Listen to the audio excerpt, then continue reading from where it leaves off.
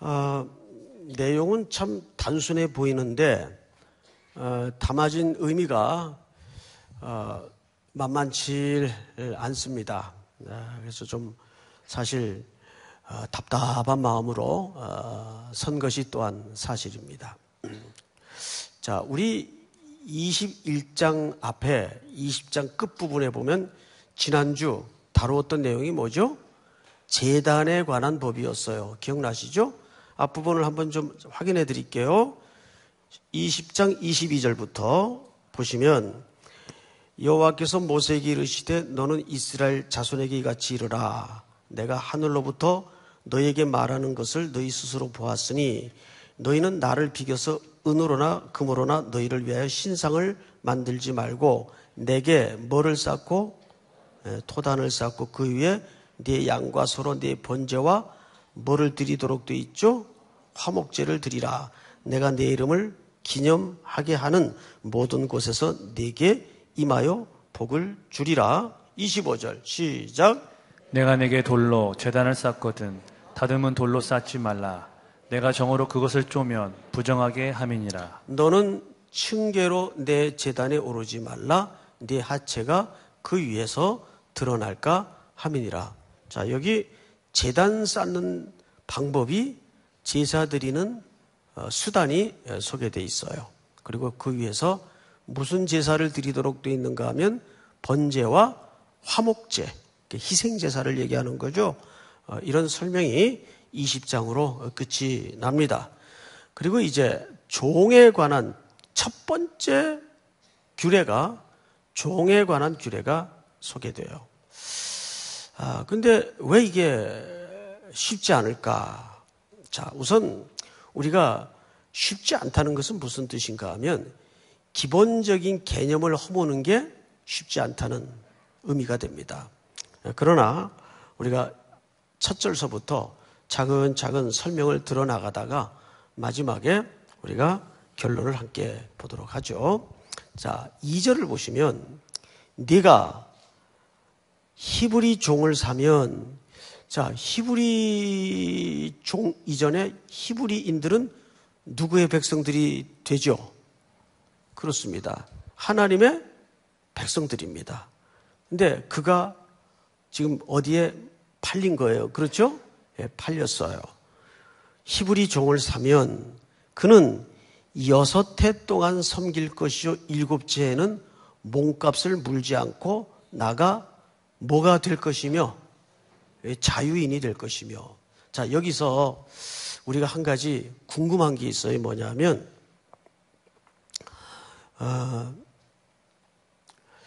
그럼 하나님이 기본적으로 노예 제도를 승낙하시고 인정하셨다는 얘기일까?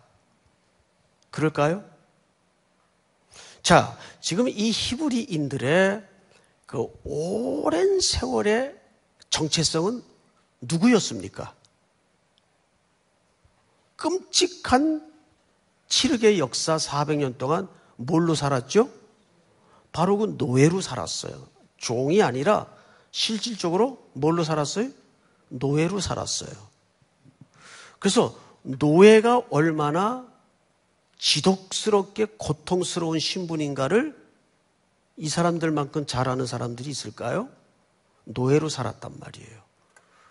그래서 이들의 가슴 한복판에 본성적으로 만들어지고 생성된 DNA가 자유를 향한 목마름과 갈망이에요. 그래서 여기 지금 6년 동안 봉사를 하거든, 하거든, 7년째는 어떻게 하도록 돼 있어요? 아무 대가를 받지 않고 자유하도록 돼 있어요. 놔주도록 돼 있어요. 그러면 이것은 사실상 기본적인 전제가 뭐냐면 하나님이 노예 제도를 인정한 게 아니라 사실은 인정하지 않은 겁니다. 하나, 여기에 법규로 만들어 놓은 것은 뭐냐면 6년 이상 영원히 종살이 하는 것을 제도적으로라도 기본적으로 돼 있는 이들의 관습 속에서 제도적으로라도 틀어막기 위해서 규칙과 법을 만들어 놓은 거예요. 자, 예를 들어서 이런 거죠. 모세에게 이혼 증서를 써주라 그랬어요? 써주지 말라 그랬어요? 써주라 그랬어요. 그럼 우리는 그걸 어떻게 이해했죠? 거봐, 하나님도 이혼을 허락했지 않느냐? 예. 표면적으로는 그렇듯 보여지지만 그 당시에는 히브리 사람들이 여성을 너무 무가치하게 생각하고 여성의 인권을 배려하지 않고 여성을 내쫓을 수 있는 별의별 항목들이 다 있었어요. 예를 들면 밥 먹다가 돌을 씹었어. 어, 너 이게 무슨 짓이야? 나가. 가능하던 시대다 그 말이에요. 그러니까 하나님께서 이런 여성들을 보호하기 위해서 기본적인 정신이 여성들을 보호하기 위해서 함부로 남성 중심의 관습과 사회에서 여성을 경시하는 것을 기본 라인이라도 틀어막기 위해서 이혼 증서를 써줄 때는 최소한 이런 항목에 해당할 때만 이혼 증서를 써주는 것이 가능하다는 차원에서 이혼 증서를 써주라 그런 거예요. 근데 우리는 그걸 그냥 팩트만 이해하고 어떻게 생각을 하죠? 하나님 이혼 허락, 허락 했지 않느냐. 부득불 살다가 헤어지는 경우는 어쩔 수 없이 있을 거예요. 그건 사람이 완전하지 않고 다 어, 죄성을 갖고 있기 때문에 서로가 불완전한 사람들끼리 만나서 왜 그런 일이 벌어지지 않겠어요. 그러나 모세의 율법에 이혼 증서를 써주라는 말은 기본적인 법 의도를 알아야 된다 그 말이에요. 그것은 첫째가 여성 인권에 대한 보호 차원에서 이런 이런 조항 외에는 이혼 증서를 써줘서는 안 된다는 의미의 사실은 써주라는 말이 그렇듯이 그런 맥락에서 오늘 이 종에 대한 법규도 이해를 해야 되는데 하나님은 기본적으로 노예 제도나 종의 제도를 승인하지 않았어요. 확실한 경우를 한 군데만 우리가 들춰보자면 앞, 뒤로 두 장을 넘겨서 시, 어, 신명기 두 장이 아니라 여러 장 넘겨야 되겠네. 신명기 23장. 23장. 띄워주세요. 자막을 제가 이거 안 드린 것 같은데 찾읍시다. 23장을 어, 열어서 15절, 16절을 한번 읽어봅시다. 23장. 자, 찾았으면 아멘 하십시다. 네. 15절, 16절. 다 같이 시작.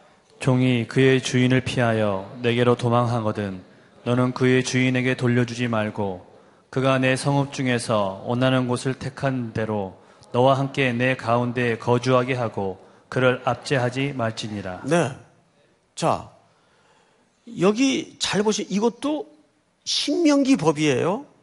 근데 뭐라고 되어 있는가 하면 종이 그의 주인을 피하여 네게로 도망하거든.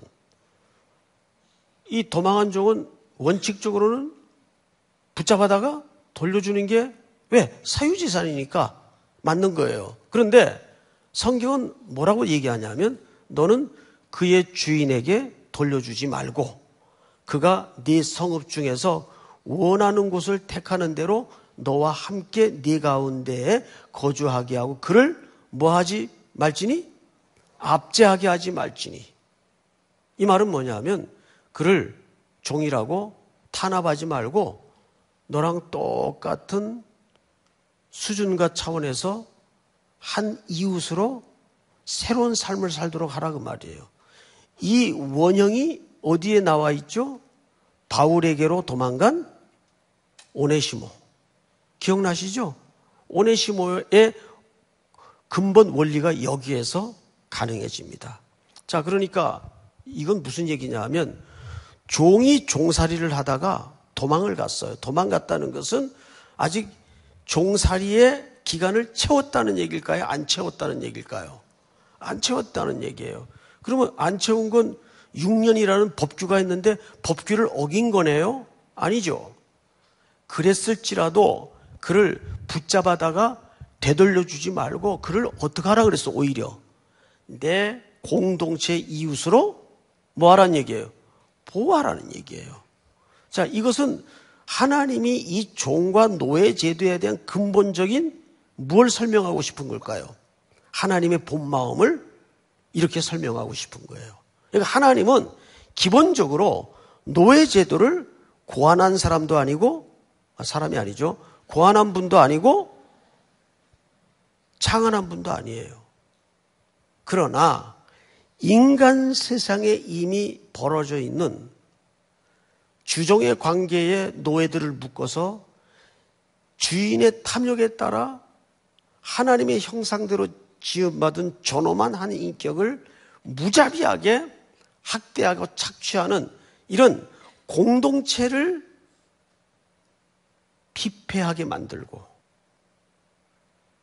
병들게 만드는 이런 인간의 본성이 나타나지 않도록 그걸 제어하기 위해서 법규를 만들었다고요. 승인해서 만든 게 아니고 이해가 되죠, 여러분? 자, 다시 어, 출애굽기 21장으로 돌아가 보십시다. 보시면 이렇게 되어 있습니다. 일곱째 해에는 몸값을 물지 말고 나가 뭐가 되게 하죠?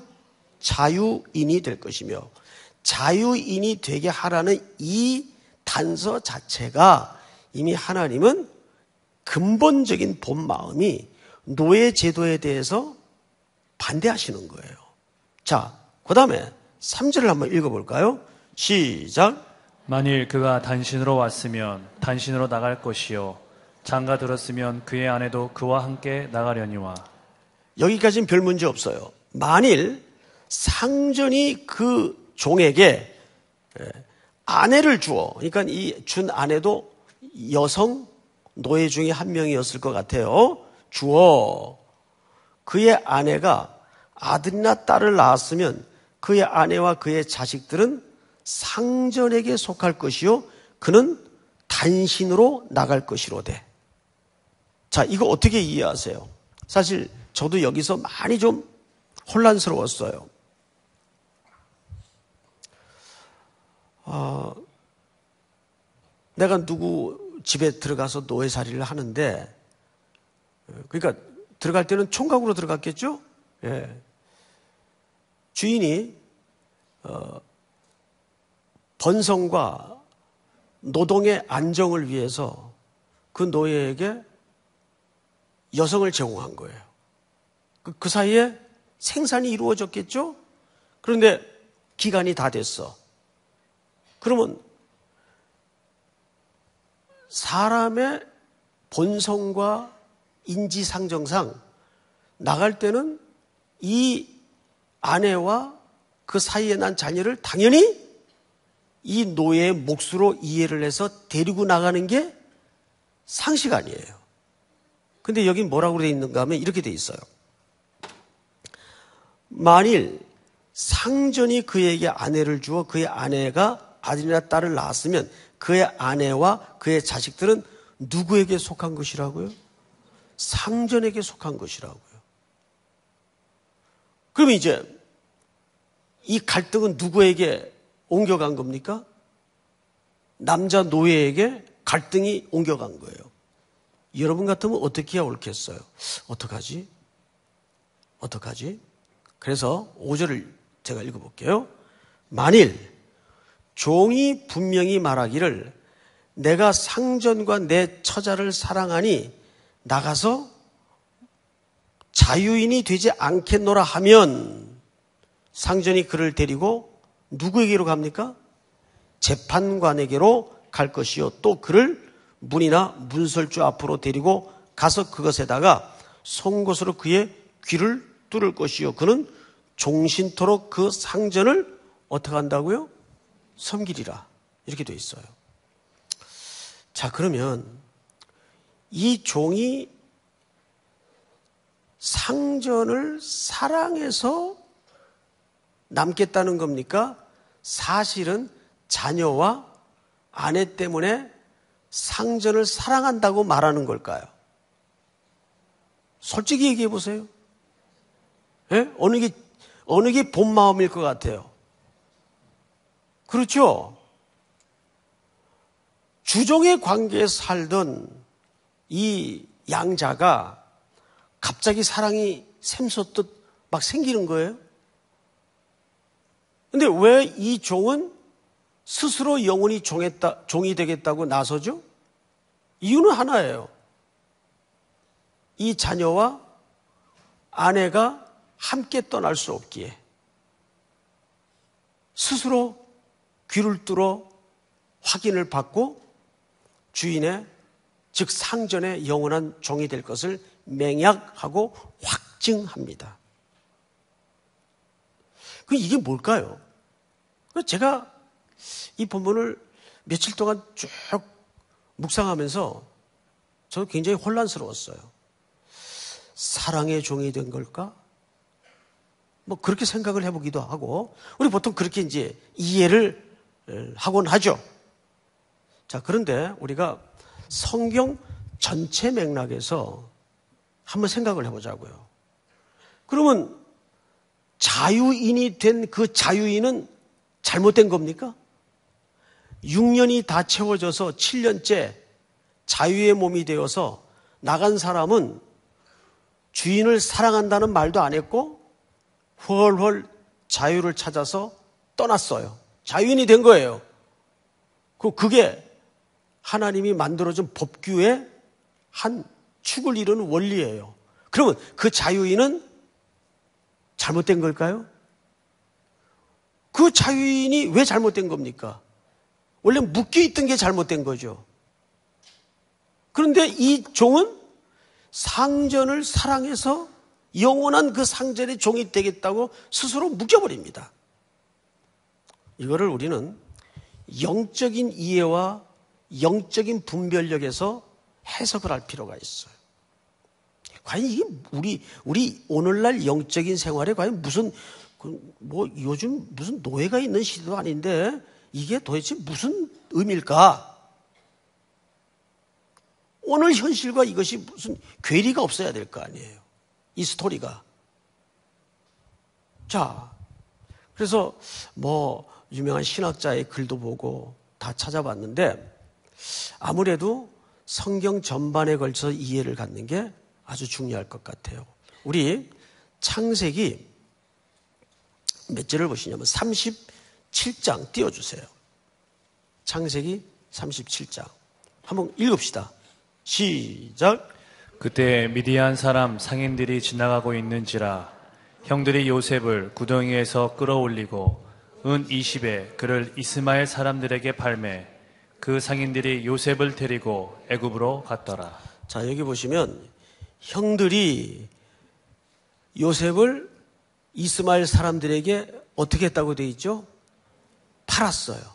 예, 팔다라는 말이 마카르, 팔다 이렇게 되어 있어요. 그리고 또 다음 절을 보시면 39장 1절부터 제가 좀 읽겠습니다. 창세기. 자, 우리 같이 찾읍시다. 이거 좀 직접 확인해 볼 필요가 있는데 39장 1절 요셉이 아, 이 본문은 제가 안 드렸던 것 같아요. 요셉이 이끌려 이제 아까 팔았죠? 이끌려 애굽에 내려가매 바로의 신하 친위대장 애굽 사람 보디발이 그를 그리로 데려간 이스마엘 사람의 손에서 요셉을 어떻게 했다고 돼 있어요? 예, 요셉을 샀다라고 돼 있어요. 자, 아까 형들은 요셉을 어떻게 했죠? 팔았어요. 그리고 보디발은 그 사람들 손에서 요셉을 어떻게 했어요? 샀어요. 그러면 정확하게 요셉은 지금 무슨 신분이 된 겁니까? 종이 됐어요. 종. 노예가 된 거예요. 요셉은 자 그런데 요셉이 나중에는 이 거대한 애굽 대제국의 무슨 자리까지 올라가죠? 총리 자리까지 올라가요. 올라가서 희한한 일이 벌어집니다. 자, 창세기 몇 장을 보시냐면 47장을 아, 건너뜁니다. 47장 창세기. 자, 자막이 있어요. 자막을 봅시다. 우리가 어찌 우리의 토지와 함께 주의 목전에 죽으리이까? 우리 몸과 우리 토지를 먹을 것을 주고 사소서. 이건 지금 애굽 사람들이 누구한테 요청을 하는 거죠? 요셉에게 요청을 하는 거예요. 자기들의 토지와 자기들의 몸을 누구에게 사달라 그럽니까? 요셉에게 사달라 그럽니다. 그러면 누구의 종이 되겠다는 얘기예요? 요셉의 종이 되겠다는 얘기예요. 이런 반전도 있나요? 종이 되었던 요셉이 애굽 사람들을 종으로 삽니다. 기근을 이용해서 그들의 토지와 그들의 몸을 사고 뭘 줍니까? 먹을 양식을 줘요. 그리고 보세요. 우리가 토지와 함께 바로의 뭐가 되리니? 종이 되리니.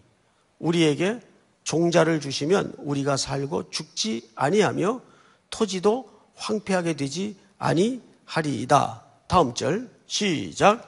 그러므로 요셉이 애굽의 모든 토지를 다 사서 바로에게 바치니 애굽의 모든 사람들이 기근에 시달려 각기 토지를 팔았습니다.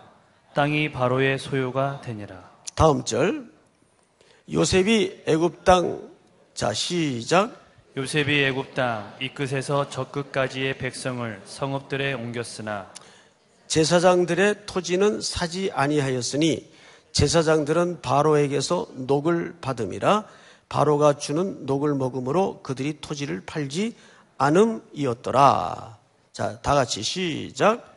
요셉이 백성에게 이르되 오늘 내가 바로를 위하여 너희 몸과 너희 토지를 샀노라. 여기 종자가 있으니 너희는 그 땅에 뿌리라. 네. 여기서도 팔고 사고 하는 과정을 통해서 모든 백성들이 요셉에 의해서 다 사지고 그 사진 토지와 백성들은 누구의 종이 되냐면 사실은 궁극적으로 바로의 종이 됩니다. 자, 그리고 이제 한 군데만 더 볼 텐데, 어, 출애굽기 14장을 직접 찾아보세요. 출애굽기 14장. 홍해를 앞두고 백성들의 그 유명한 부르짖음이 등장을 하는데 10절을 제가 읽겠습니다. 출애굽기 14장 10절. 바로가 가까이 올 때에 이스라엘 자손이 눈을 들어본즉 애굽 사람들이 자기들 뒤에 이른지라 이스라엘 자손이 심히 두려워하여 여호와께 부르짖고 11절 시작. 그들이 또 모세에게 이르되 애굽에 매장지가 없어서 당신이 우리를 이끌어내어 이 광야에서 죽게 하느냐? 어찌하여 당신이 우리를 애굽에서 이끌어내어 우리에게 이같이 하느냐? 우리가 잘 들어보세요 애굽에서 당신에게 이런 말이 이것이 아니냐 이르기를 우리를 내배로 두라 우리가 애굽 사람을 섬길 것이라 하지 아니하더냐? 애굽 사람을 섬기는 것이 광야에서 죽는 것보다 낫겠노라. 자, 잘 보세요. 이제 앞을 보십시다. 정리를 하십시다. 여러 성경 구절을 읽었지만 어, 이치는 간단해요. 어, 히브리 노예들이 출애굽을 해서도 돌아가려 했던 시도가 정확히 세 번 등장을 합니다. 앞으로 두 번 더 있어요.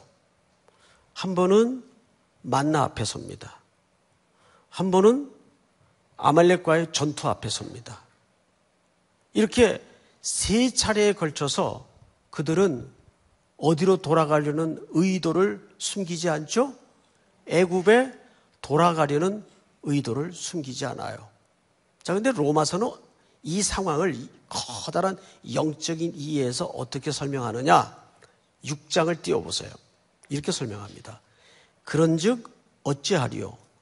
우리가 법 아래 있지 아니하고 은혜 아래 있으니 죄를 지으리요 그럴 수 없느니라. 시작.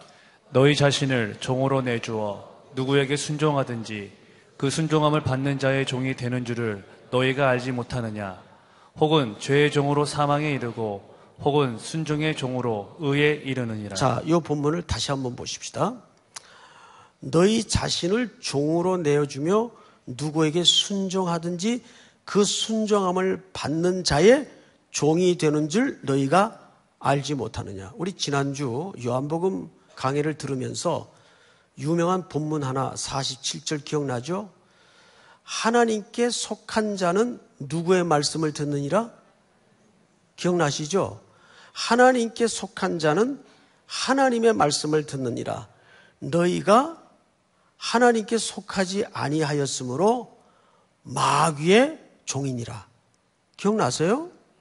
자, 그러면 오늘 본문인 출애굽기 21장에서 종되었던 자가 기간이 돼서 그 집을 떠날 충분한 법적인 권리가 생겼는데 스스로 매이고 묶여요. 뭐 때문에? 육신적인 문제 때문에. 그리고 오히려 그 종을, 어, 그 상전을 어떻게 한다고요? 사랑한다 그래요. 그럼 이게 과연 옳은 그림일까? 그러면 놔주지 않는데 어떡하란 말이냐? 아니죠. 아까 우리 신명기 23장에서 도망간 종이 있었어요, 없었어요? 있었어요. 도저히 이 종살이에 대해서 한거를 하고 이 굴욕과 맹종의 시간이 내겐 견딜 수 없다. 그래서 도망간 종들이 있다고요. 그런 종들은 도피처에 숨겨서 그들을 보호하는 사람과 새로운 이웃을 형성해 새로운 공동체 생활을 하는 거예요. 그러면 이 종은 그렇게 사랑하는 진짜 사랑하는 아들이고 자녀고 진짜 사랑하는 아내라면 어떻게 하는 게 마땅해요? 도망가야죠. 그 속박의 관계로부터 자기들의 자녀를, 아내를 어떻게 하는 게 맞는 겁니까? 빼내오는 게 맞는 거죠. 여러분, 로마서를 다시 띄워주세요. 너희 자신을 종으로 내어 주어 누구에게 순종하든지 그 순종함을 받는 자의 종이 되는 줄을 너희가 알지 못하느냐? 혹은 죄의 종으로 사망에 이르고 혹은 순종의 종으로 뭐에 이르느니라? 의에 이르느니라. 자, 다음 절. 시작. 하나님께 감사하리로다. 너희가 본래 죄의 종이더니 너희에게 전하여 준 바 교훈의 본을 마음으로 순종하여 죄로부터 해방되어 의의 종이 되었느니라. 다음 절. 시작. 너희 육신이 연약함으로 내가 사람의 예대로 말하노니 전에 너희가 너희 지체를 부정과 불법에 내주어 불법에 이른 것 같이 이제는 너희 지체를 의에게 종으로 내주어 거룩함에 이르라. 다음 절. 너희가 죄의 종이 되었을 때에는 의에 대하여 자유로웠느니라. 시작. 너희가 그때 무슨 열매를 얻었느냐? 이제는 너희가 그 일을 부끄러워하나니 이는 그 마지막이 사망임이라. 다음 절. 시작. 그러나 이제는 너희가 죄로부터 해방되고 하나님께 종이 되어 거룩함에 이르는 열매를 맺었으니 그 마지막은 영생이라. 다 같이 죄의 삭은 사망이요 하나님의 은사는 그리스도 예수 우리 주 안에 있는 영생이니라. 그러니까 오늘 신명기 21장에 나오는 이 종에 대한 규례는 커다란 영적인 도의 그림에서부터 시작을 해야 돼요. 우리는 출애굽한 이스라엘 백성들처럼 다시 애굽에 대한 추억과 기억과 그리움이 늘 있어요. 그래서 본성적으로 항상 그쪽으로 끌려 있어요. 그래서 그쪽에 기꺼이 못도 감수하겠다는 거예요. 종살이도 감수하겠다는 거예요. 그러니까 오늘 신명 어, 출애굽기 21장에 등장하는 이 종의 모습은 사실은 육신의 안전함, 육신의 문제 때문에 기꺼이 상전의 영원한 종으로 묶여버리는 겁니다. 그러나 성경 전체의 영적인 이해 속에서는 어떻게 옳았다고요? 하나님께서 법적으로 6년이 되면 7년째 자유할 수 있는 권한을 주셨어요. 그럼 당연히 하나님이 기본적으로 추구하는 이 종에 대한 상태는 계속 묶이는 겁니까? 자유하는 게 원래 원하는 상태입니까? 그렇죠. 자유하는 게 원래 하나님이 원하시는 상태예요. 그 자유는 누구에 대한 자유입니까? 진리와 의와 생명과 하나님에 대한 자유예요. 그런데 이 종은 육신, 육신적인 것, 그것이 정말 우리 눈에는 피치 못할 어떤 것이라고는 하지만 그 속에는 그 상전의 안전과 먹거리와 모든 것으로부터 벗어나기가 두려우니까. 여러분, 한 군데만 더 볼까요? 출애굽기 16장을 한번 건너가 보십시다. 16장. 2절부터 제가 읽겠습니다. 이스라엘 자손 온 회중이 그 광야에서 모세와 아론을 원망하여 3절 다 같이 시작. 이스라엘 자손이 그들에게 이르되 우리가 애굽 땅에서 고기 가마 곁에 앉아 있던 때와 떡을 배불리 먹던 때에 여호와의 손에 죽었더라면 좋았을 것을 너희가 이 광야로 우리를 인도해 내어 이 온 회중이 줄여 줄게 하는도다. 우리가 애굽 땅에서 고기 가마 곁에 앉아 있던 때와 떡을 배불리 먹던 때에 거기서 차라리 네가 말하는 그 여호와의 손에 죽었으면 좋았을 뻔했는데 그러니까 아직도 이 어, 구원받은 백성들임에도 불구하고 그 어, 본성에는 뭐가 아직도 끈질기게 남아 있는 거예요. 옛 것에 대한 기억과 추억, 향수. 그 본성이 아직도 진멸되지 않은 아말렉이라는 실체가 남아 있는 거예요. 자유의 권리와 기한이 되었는데도 어떤 육신적인 본질적인 문제 때문에 영원히 귀까지 뚫어가면서 그 상전에게 소속되고자 하는 이 백성들의 상태나 그 종의 상태나 일치한 그림을 보여주고 있는 거예요. 그것을 신약 성경에서 로마서 6장에서 그렇게 설명을 하는 겁니다. 죄의 종이 되겠느냐? 육신의 종이 되겠느냐? 진리와 영생, 하나님의 종이 되겠느냐? 이것은 그러니까 이런 거죠. 우리의 전 존재를 걸 만한 가장 근본적인 싸움이에요. 항상 우리가 인생을 살면서 항상 이 기로 앞에 서요. 친구가 나보다 조금 한 걸음 더 앞서 잘 나가면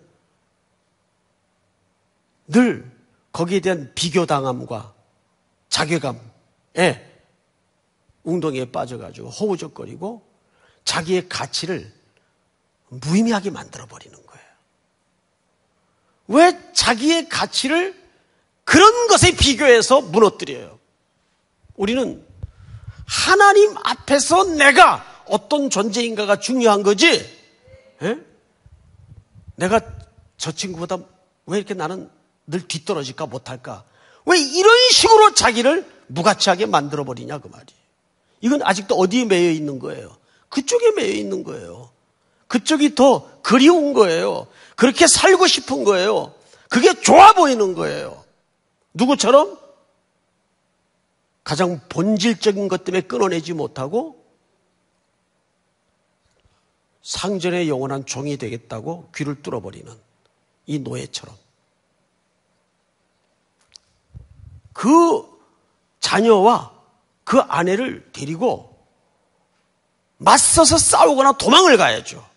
그래서 하나님께서 근본적으로 우리에게 원하시는 그 자유를 향하여 뛰어야죠. 새로운 이런 부딪힘과 각오 없이 하나님의 의의 종의 소속으로 되어지는 법은 없습니다. 그러니까 여기에는 어마어마한 분투가 필요한 거예요. 이 분투가 우리는 때로는 두렵고 무서운 거죠. 아, 이러다가 내가 쪽박 차는 거 아닐까? 안 차요! 안 차. 걱정하지 마세요. 네? 왜 쪽박을 차요? 그래서 쪽박 차면 아니, 그런 법은 없어요. 가, 가정도 그건 아니에요. 가정도. 그럴, 그럴 경우는 없어요. 용기가 없는 거죠. 통계를 내보고, 비율을 따져보고, 주판을 튀겨보고, 계산기를 두들겨보고, 그거 다 무의미한 거예요. 내가 기본적이고 근본적으로 나는 의의 종이 되겠다. 이 분투가 우리 속에 항상 일어나야 된다. 그 말이죠. 믿습니까? 한 군데만 더 보고 마치겠습니다. 출애굽기 17장을 건너가 보세요. 1절부터 제가 좀 읽겠습니다. 이스라엘 자손의 온 회중이 여호와의 명령대로 신 광야에서 떠나 그 노종대로 행하여 르비딤의 장막을 쳤으나 백성이 마실 물이 없는지라 백성이 모세와 다투어 이르되 우리에게 물을 주어 마시게 하라. 모세가 그들에게 이르되 너희가 어째 나와 다투느냐? 너희가 어째 여호와를 시험하느냐? 다 같이 시작.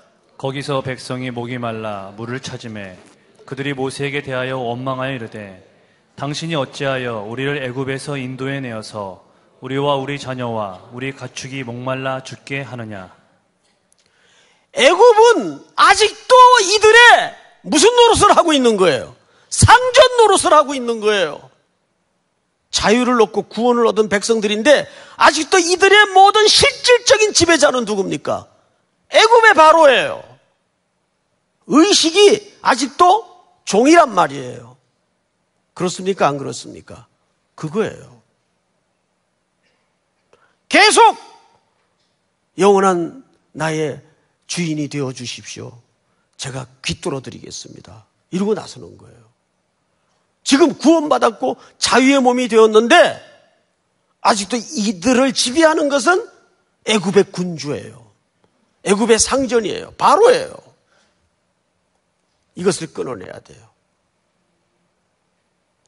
그 우리가 마지막까지 놓지 못하는 그것이 오늘 성경에서는 혈연의 육신의 근본적인 주제로 우리를 놓지 못하게 만드는 거죠.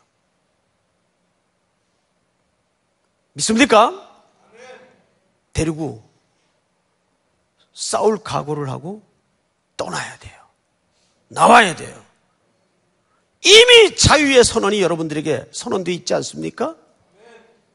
오늘 그 격렬한 싸움이 기도 속에서 터져 나오고 결단은 오랜 세월이 필요한 것도 아니에요. 성령께서 여러분들을 붙잡기 시작하면 하나님의 능력 있는 말씀이 여러분들의 의식을 붙들기 시작하면 단숨에 이루어지는 겁니다. 믿습니까? 우리 찬양 하나 하십시다.